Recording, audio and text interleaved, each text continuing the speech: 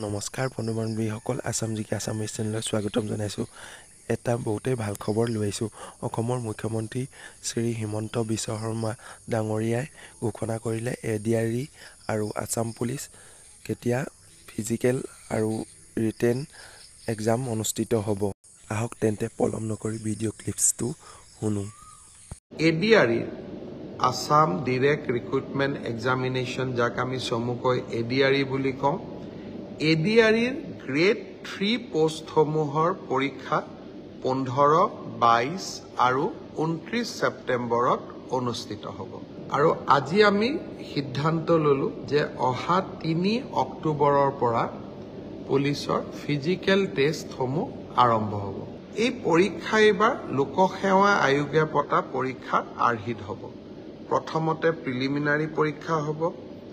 তাৰ পিছত মেইনছ হ'ব। আৰু মেইনছৰ পিছত আমি ভাইভা প্ৰক্ৰিয়াৰ মাজেৰে আমি সমগ্ৰ ইণ্টাৰভিউ প্ৰক্ৰিয়াটো সমাপ্ত কৰিম। ঠিক সেইধৰণে চতুৰ্থ শ্ৰেণীৰ বাবেও আমি একেটাই ব্যৱস্থা হাতত ল'ম।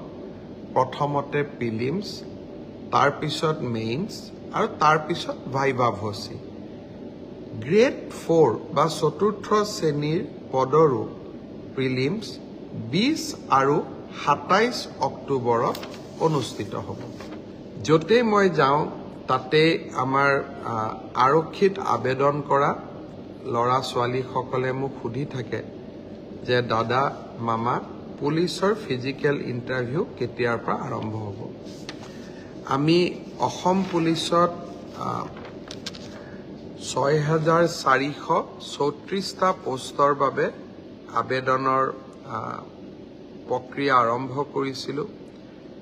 আৰু আজি আমি সিদ্ধান্ত ল'লোঁ যে অহা তিনি অক্টোবৰৰ পৰা পুলিচৰ ফিজিকেল টেষ্টসমূহ আৰম্ভ হ'ব।